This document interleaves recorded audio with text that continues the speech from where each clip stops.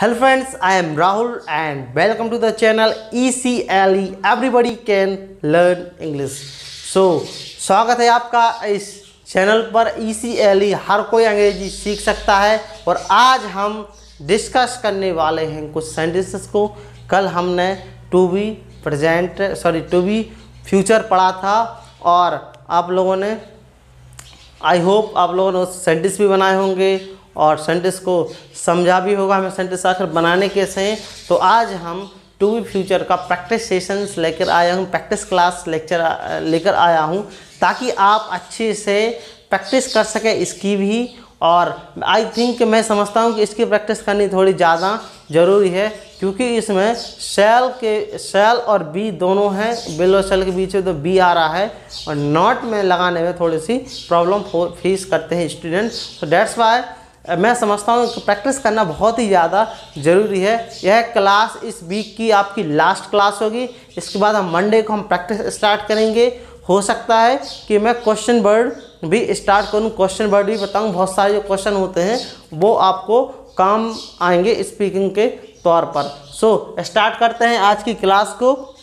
और class start करने से पहले कि मेरा अनुरोध है कि यदि आपने चैनल को सब्सक्राइब नहीं किया है अभी तक और आप पहली बार है तो कृपया चैनल को सब्सक्राइब कर लें और जो घंटी का बटन है, उसको भी आप दबा लें। नीचे घंटी का बटन है और उसको ऑल पर क्लिक कर लें ताकि वीडियो की लेटेस्ट नोटिफिकेशन आप तक पहुँच सके।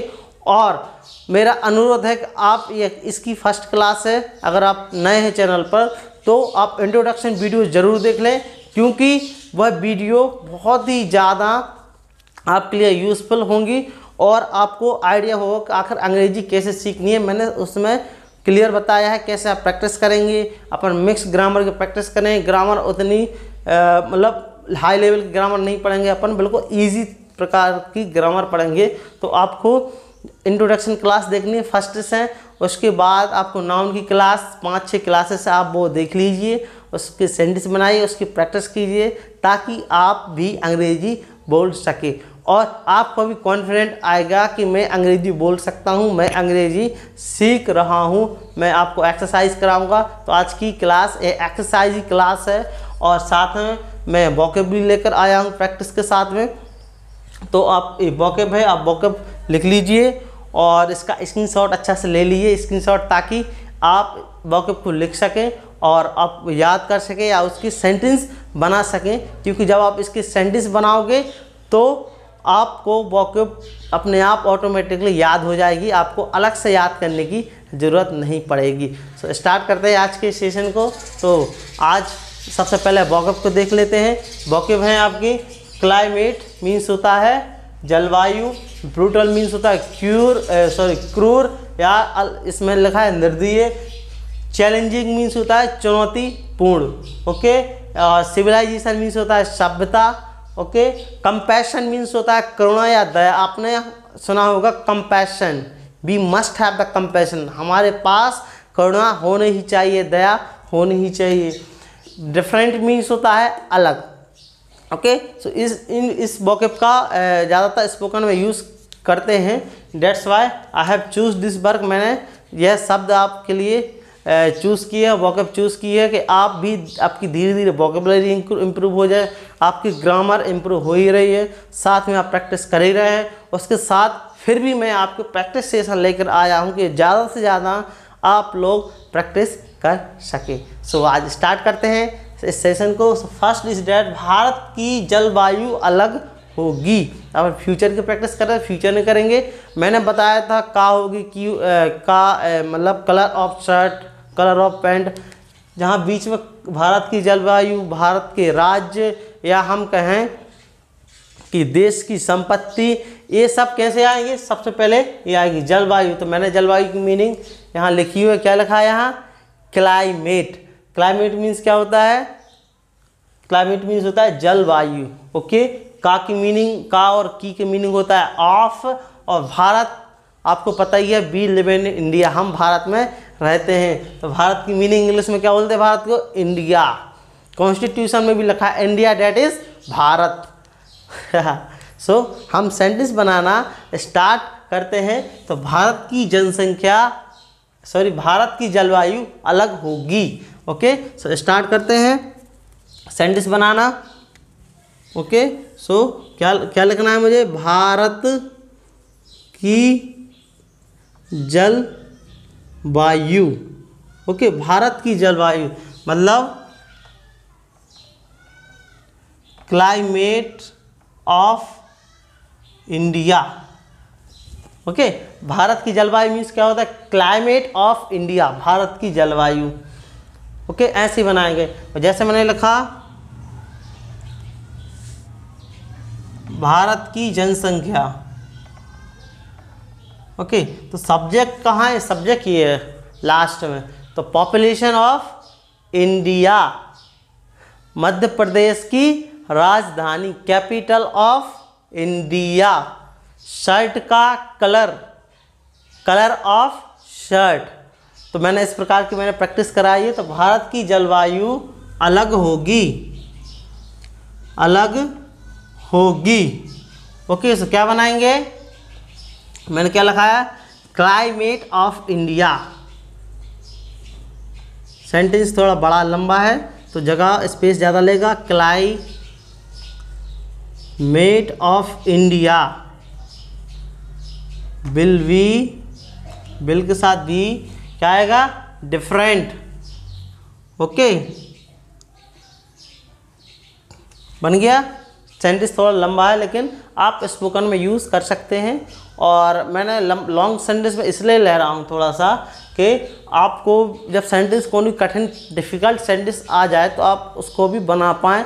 या फिर हमारे पास इजी सेंटेंस भी है, वह दयालु होगा, घर नया होगा, हम दयालु होंगे, शायद डबल हो गया है ओके उसका नाम अच्छा होगा। तो ये इजी है स्पोकन के तौर पर हम बहुत अच्छी तरीके से यूज़ कर सकते हैं। लेकिन मैं समझता हूँ कि थोड़ा एक डिफ़िकल्ट सेंटेंस भी होना चाहिए, ताकि आप हर प्रकार से आप तैयार हो सकें स्पोकन के लिए, हर प्रकार से आप सेंटेंस को ट्रांसलेट कर सकें। तो भारत की जनसंख्या अलग होगी the climate of India will be different Bharat की जनसंख्या, भारत की सॉरी जलवायु में जनसंख्या बोल रहा हूँ बार बार।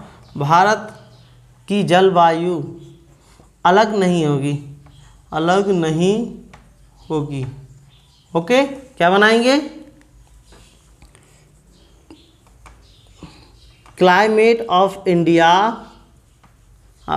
हम लोग दा का भी यूज़ कर सकते हैं, लेकिन स्पोकन के तौर पर सोच रहा हूँ, चलो रहने दो। तो इस will not be different okay? Spoken के तौर पर हम लोग ग्रामर को पढ़ रहे हैं। या फिर हम यहाँ दा का भी यूज़ कर सकते हैं क्योंकि यूनिक है। चलो लगा लो, अच्छी बात है। और क्या? भारत की जनसंख्या सॉरी भारत की जलवायु। भारत की जल वायु अलग नहीं होगी। ओके, क्या बनाएँगे? Will the climate of India. अलग होगी अलग होगी अलग होगी। B different. तो एक्चुअली क्या है कि तीन ही सेंटेंस में अपना बोर्ड फुल फिल हो गया, ओके? लेकिन मैं कोशिश करूँगा, इसको मिटा देता हूँ थोड़ा सा, क्योंकि हमारे पास स्पेस की कमी है। तो मैं एक फिर से अनुरोध करता हूँ कि आप फिर से इसका स्क्रीनशॉट ले लीजिए, क्योंकि मुझे इस बॉके मिटानी पड़ेगी, मजबूरन। तो इसका फिर से एक स्क्रीनशॉट ले लीजिए अच्छा सा। ओके सो आपने स्क्रीनशॉट ले लिया है तो मैं इसको रब करता हूँ, क्योंकि it is very important okay so हम बनाते हैं। इंटोगेटिव क्या भारत की जलवायु अलग नहीं होगी? बहुत बड़ा सेंटेंस है थोड़ा सा। So will climate of India India not be different. Okay Bharat की जलवायु कब अलग नहीं होगी? Will climate of India not be indifferent Bharat की जलवायु, भारत की जलवायु कैसे अलग होगी? अलग होगी। Okay will sorry sorry sorry how question word आगे आएगा how will climate of India be different sentence में पूरा क्या भर गया? बोर्ड भर गया। क्वेश्चन वर्ड लगा देना आप लोग, ठीक है? भारत की जलवायु कैसे अलग नहीं होगी। ओके, मैंने बना दिया। हाउ विल दी किसी में दा नहीं लगा है तो टेंशन मत लेना, आप लगा लेना। Of India climate of India not be different sentence बड़ा है, इसलिए थोड़ी सी दिक्कत हो रही है। यहाँ दाल लगा लो। और कहाँ ही लगा? यहाँ भी नहीं लगा तो यहाँ भी आप लगा लेना ठीक है? ओके सो साइंटिस्ट थोड़ा बड़ा है, लेकिन हम प्रैक्टिस करते हैं। और प्रैक्टिस से हर चीज़ संभव है तो भारत की जलवायु अलग होगी। The climate of India will be different आप दा नहीं लगा तो चल जाएगा। भारत की जलवायु अलग नहीं होगी। Climate of India will not be different क्या भारत की जलवायु अलग होगी? Will climate of India be different क्या भारत की जलवायु अलग नहीं होगी? Will climate of India not be different Bharat की जलवायु कैसे अलग होगी?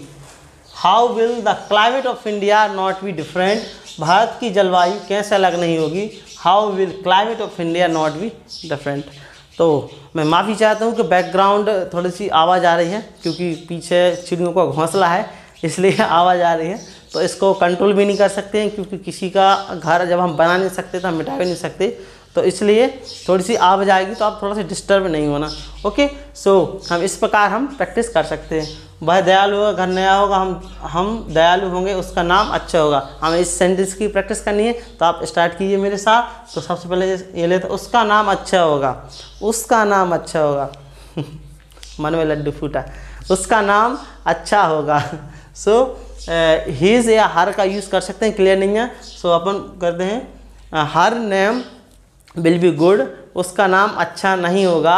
Her name will not be good क्या उसका नाम अच्छा होगा? Will her name be good क्या उसका नाम अच्छा नहीं होगा?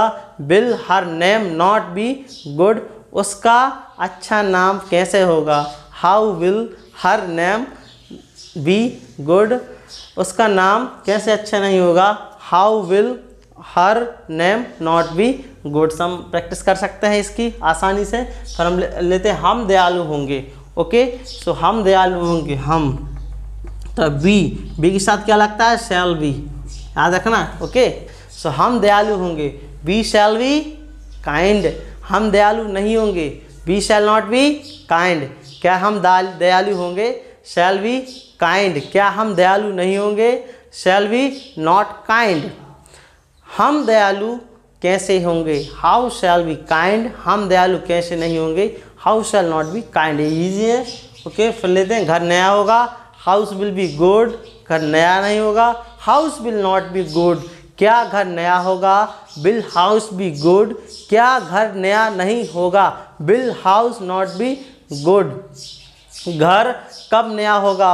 When will house be good घर कब नया नहीं होगा? When will house not be good okay वह दयालु होगा। He will be kind same है काइंड की काइंड दयालु। वह दयालु नहीं होगा। He will not be kind क्या वह दयालु होगा? विल ही बी काइंड क्या वह दयालु नहीं होगा? Will he not be kind वह दयालु क्यों होगा? Why will he be kind वह दयालु क्यों नहीं होगा?